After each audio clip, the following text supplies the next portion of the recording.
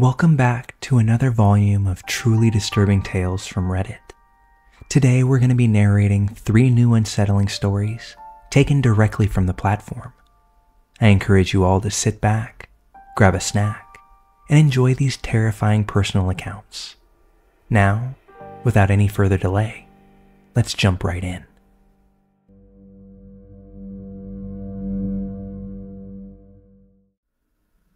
When I was five, my family attended a church with two stories to it.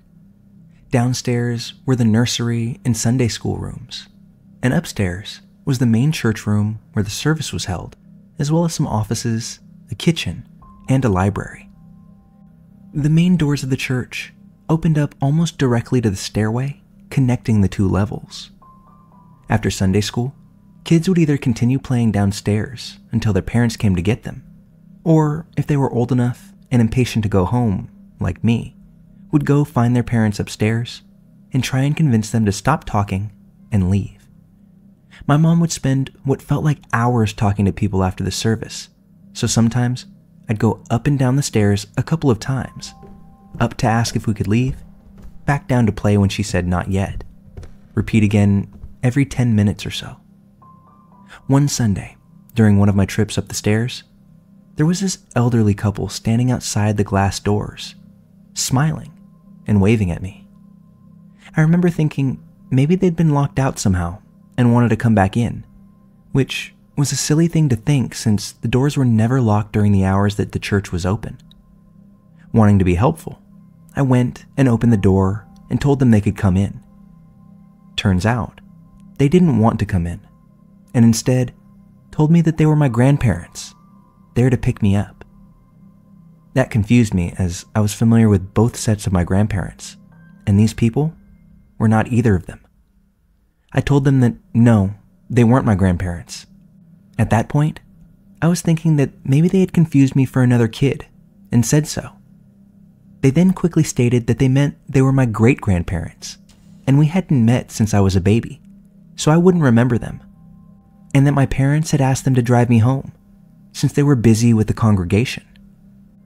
Even if I hadn't been smart enough to realize that they could have just come in if they wanted, their story seemed a little bit more than just odd to me, and even as they protested that it wasn't necessary, I said I was going to go ask my parents and headed up the stairs immediately.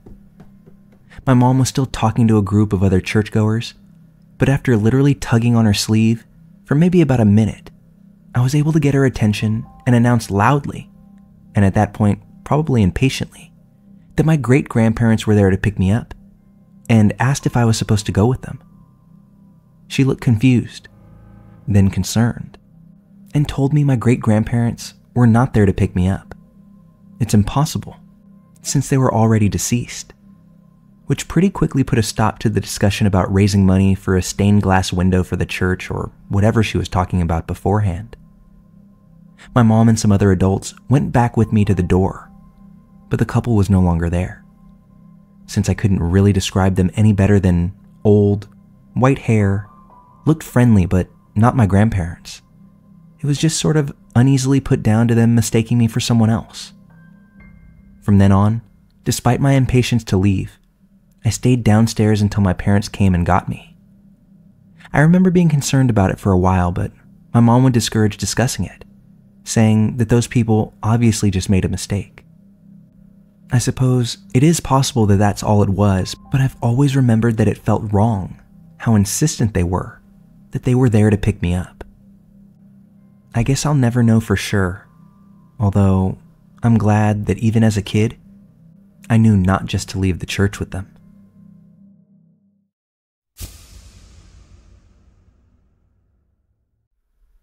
A couple of years back, my husband and I took a trip to Yosemite. We stayed outside the park in El Portal. One evening, while we were driving back from the valley, I noticed that the headlights of our car caught what appeared to be somebody lying down on the side of the road. Both feet pointed towards the street. I told my husband that there was a person laying back there in the pitch black on the side of the highway. He knows that I love my true crime stories and was absolutely certain that what I had seen were trash bags. But I was sure what I saw, So I just kept saying, No, I saw a body, and I know that was a person. We made our way back to the hotel, and as we were about to park, my husband looked over at me and said, You're really sure about this, aren't you? Do you want to go back? I was desperate. Yes. As we drove by again, I saw that same set of feet. I had my husband turn the car back around and yelled at him to stop the car. He rolled down his window and said, Are you okay? But there was no answer. One more time he yelled, even louder, Are you okay? When suddenly, a woman dressed in all black sat straight up. She was wearing a nice down jacket, black pants, and had her purse with her, plus three water bottles. Her makeup was done nicely, and she seemed very sweet. I could tell my husband was absolutely shocked by this. I asked her where she was headed. She said that she was trying to get to the Chevron station up the road, and that her mom was going to meet her there to pick her up. This woman looked to be in her late 40s, just for context. I knew something weird was going on because where we found her, the Chevron gas station was still another seven miles away. She said that in her mind, she thought it was only about a mile from her hotel and that it was a distance that she could walk. We offered her a ride, and she climbed right into the back seat, although not before I grabbed a thick scarf to wrap around my neck and some pepper spray. As we drove, we tried to ask her questions, just a little chit chat. I asked why she was laying on the side of the road. She said she had gotten tired of walking and had simply laid down, ready to give up. It was winter out, and she had no hat or gloves with her. I could tell that she was very fragile. Maybe not in a physical sense, but mentally, that's what kind of keyed me in. Once we arrived at the Chevron station, she thanked us and hopped out of the car and sat on a bench in front of the closed Chevron. We offered to stay with her until her mom arrived, but she said she'd be fine. I reminded her that there was no cell reception in the area and triple checked that she didn't want us to wait with her. She passed at every opportunity we gave her. So we packed up and drove back to our hotel. That's when I noticed that there were now two police cars in the parking lot. They hadn't been there the first time we arrived back from the valley that evening. I told my husband I knew they had to be there for that woman. I calmly walked over to one of the cars and asked if they were looking for that woman.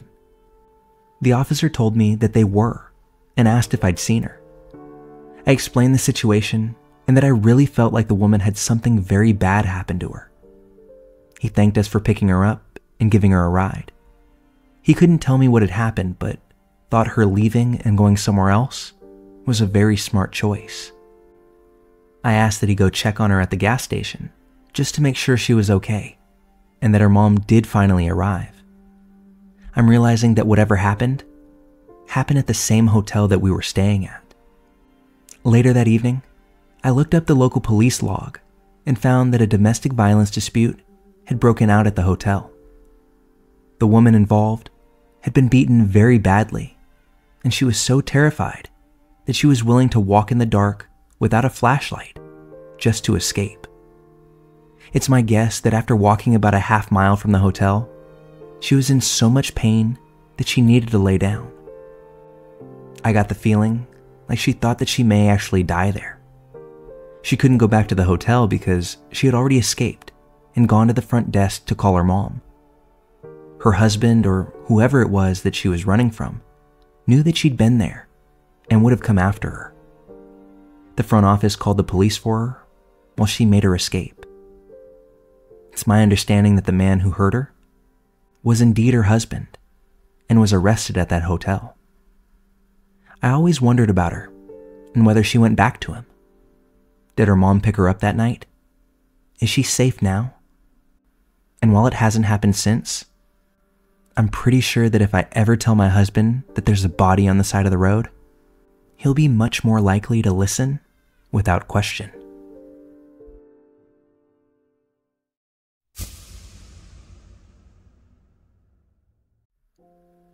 I just have to get this story off my chest, as it's one that I still find so messed up and it creeps me out to this day. It all came flooding back to me tonight, just like it happened yesterday.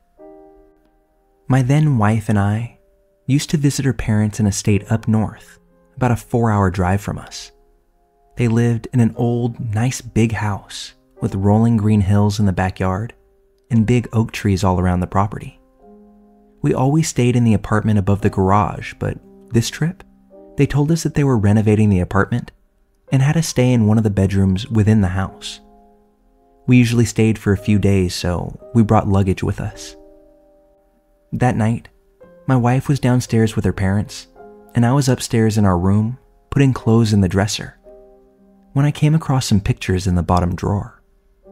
These pictures were not in family photo albums, they were just loose in one of the drawers, although I'm pretty sure they were not meant to be found. They were pictures of my father in law inserting objects into my mother in law.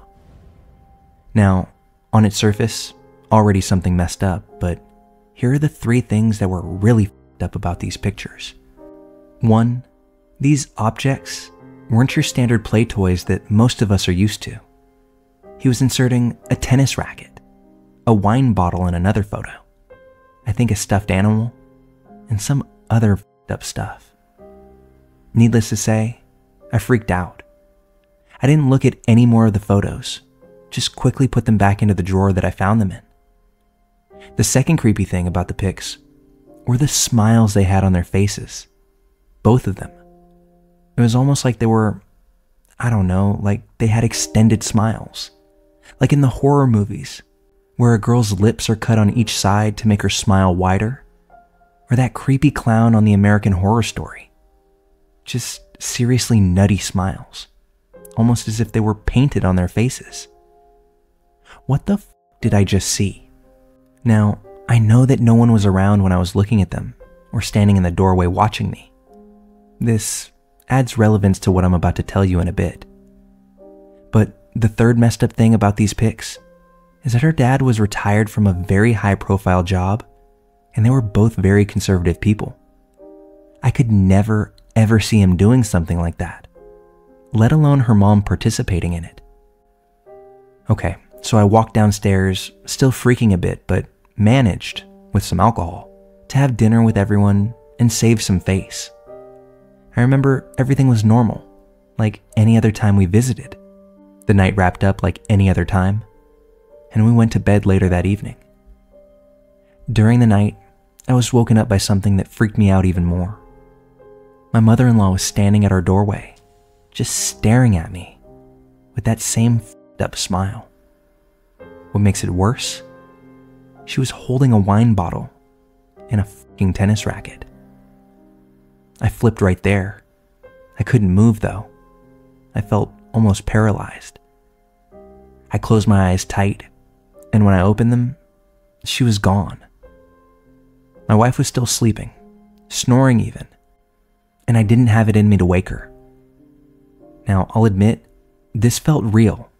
This seems so real. I wasn't drunk at all, but it's up for debate whether it was in my head or not. Although, if I had to stake my life on it, she was absolutely there in that doorway. At the time, I had all those questions in my head like, did she see me looking at the pics? That's too crazy coincidental. And I fucking know all of them were downstairs at the time that I was looking. Anyway, the next morning, I'm the last one up and head downstairs for breakfast. As I'm buttering up my toast that morning, I realize that my wife is really mad at me. It was a little out of character because she seemed to pick a fight with me for no reason. I think it was about the supposed shoddy job that I did building a wall at her parents' house the previous summer. But that was bullshit. She knew it, they knew it, and I knew it. I do very good work, but she kept on about it. And her parents just sat there, kind of smiling, all the while we were arguing like it was nothing. I remember looking at all of them like, what the fuck is going on here? It's something that felt like a big conspiracy. Me and my wife never argued like that before, and even if I built that wall with cardboard, something like that would have never turned into the argument that it did. We were all rather laid back people And that would have been a joking kind of thing, but my wife was on a different level that morning. And her parents were like twice as weird, just sitting there the way they were. Her parents' demeanor freaked me out even more than the yelling act my wife was putting on. I felt somewhere between pissed off and traumatized by then by the whole situation. So I went upstairs, packed my things, and left the house. Mind you, with no objection from the wife or the in laws. Not a word, which was super weird in and of itself. I got into the car and ended up driving back home four hours by myself, getting more and more creeped out with each mile. My anxiety built. Was it the fucking pictures? Did her mom manipulate the whole thing because of her weird American horror story ass the night before? No phone call from the wife the whole way home. No contact, no nothing. I did leave a what the is wrong with you people today message on her parents' landline. It was 100% weird in that kitchen that morning. By the time I made it home, I remember I was ready to leave my wife for sure, and I knew that I never ever wanted to see my in laws again, even though I liked them both a lot before, and we seemed to get along really well. My wife came home a couple days later, I think, we made up on the phone, and she apologized, I think. But I wasn't there by the time she got back to the house. Long story made short, we ended up getting a divorce not long after that. She never did really explain why she jumped on me like that that morning. But by then, I didn't care how much we invested in that marriage, or how beautiful she was, or how much I still loved her. Overall, I was just too creeped out and I knew things probably would never be the same again, at least in my head. I never did see my in laws or my ex wife again, or ever tell her what I saw in the drawer that evening. It's been almost two decades now. I suppose, in a way, it's too late for answers now.